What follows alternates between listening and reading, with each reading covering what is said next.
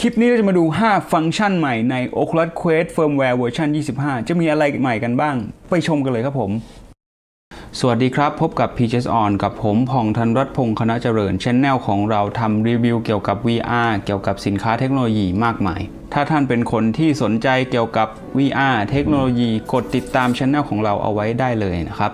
ทาง Oculus ได้เริ่มปล่อยอัปเดตเวอร์ชัน 25 ออกมาให้ Oculus Quest Oculus Quest 2 ของเราตั้งแต่ต้นเดือนกุมภาโดยที่ขั้นตอนการอัปเดตสามารถลงไปดูวิธีการได้ที่ลิงก์ใน description ด้านล่าง เรามาเริ่มดูกันเลยว่า 5 ฟังก์ชันเด่นๆ ในอัปเดตเวอร์ชัน 25 นี้มีอะไรบ้าง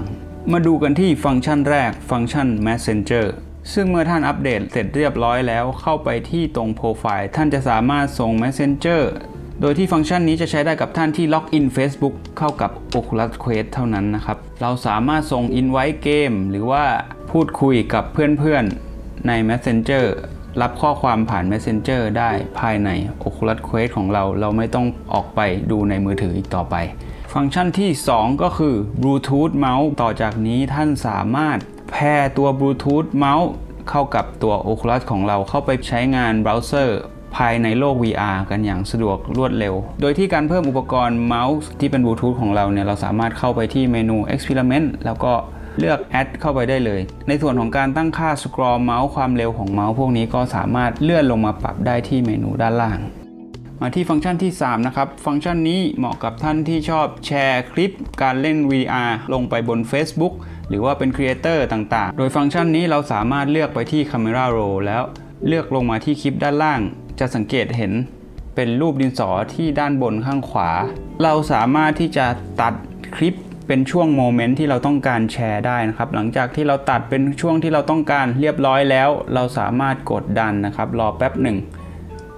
ก็จะมีคลิปใหม่ขึ้นมาเป็นคลิปที่เราตัดแล้ว พร้อมที่จะแชร์ลงไปบน Facebook ทันที หรือว่าในกรณีที่เราไม่อยากตัดต่อใหม่ เราสามารถลากลงคอมแล้วไปแชร์ใน YouTube หรือแอปอื่น ๆ ได้เลยนะครับ ถัดไปฟังก์ชันที่ C Oculus Browser นะครับก็มีการทำงานฟังก์ชันที่มากมายหลากหลายอยู่แล้ว ซึ่งการอัปเดตครั้งนี้เราได้ฟังก์ชันเพิ่มมา คือการใช้งานพร้อมกันได้ถึง 3 แท็บพร้อมกันเลยนะครับ 1 2 3 แบบนี้ แถมเรายังสามารถที่จะปรับความกว้างความยาวของแต่ละแท็บ ได้ด้วยการพอยต์ตัวพอยเตอร์ไปที่ด้านข้างของหน้าจอเบราว์เซอร์แล้วก็เลื่อนเข้าเลื่อนออก สามารถเลื่อนออกยาว เลื่อนเข้ามาแคบได้ตามที่เราใช้งานเลยครับผม โดยฟังก์ชันนี้เท่าที่ผมลองนะครับ ถ้าท่านใดที่อัปเดตเสร็จแล้ว เปิดเครื่องขึ้นมาครั้งแรกบางทียังไม่โชว์ขึ้นมาให้ทำการรีสตาร์ทเครื่องหนึ่งรอบ จากนั้นเข้ามาดูอีกที ฟังก์ชันนี้ก็จะขึ้นมาให้ปรับกันได้แล้วนะครับ ส่วนฟังก์ชันเด่นฟังก์ชันสุดท้ายที่เราเอามาแชร์กันวันนี้ฟังก์ชันที่ 5 ก็คือ universal menu universal menu คืออะไร ปกติที่เรากดปุ่ม home ออกมาที่หน้าแรกปุ๊บอ่าเราต้องกดออกเกมถึงเราจะไปเลือกอะไรต่างๆ อย่างอื่นได้ universal menu เป็นฟังก์ชันที่ท่านสามารถ กดออกมาที่หน้าแรกแล้วสามารถเลือกเซตติ้งเลือกอะไรได้หมด ไม่ต้องออกเกมที่กำลังเล่นอยู่ โดยการเปิดใช้งานฟังก์ชัน Universal Menu ให้ท่านเข้าไปที่ Setting Experimental Function แล้วก็ไปเลือกที่ Universal Menu เท่านี้ก็เป็นอันเรียบร้อย อัปเดตฟังก์ชัน 5 อย่างกันไปแล้ว ไม่พูดถึงไม่ได้คือแอป Lab นะครับ แต่ว่าตัวแอป Lab เนี่ยเราไม่จำเป็นต้องอัปเดต ก็สามารถใช้งานได้เลย โดยที่แอป Lab เนี่ยเป็นฟังก์ชันที่จะสามารถทำให้เราลงเกมจากนักพัฒนาที่ยังไม่ผ่าน Qualification ของ Oculus Store อย่างเช่นนักพัฒนาที่ลงแอปพลิเคชันไว้ใน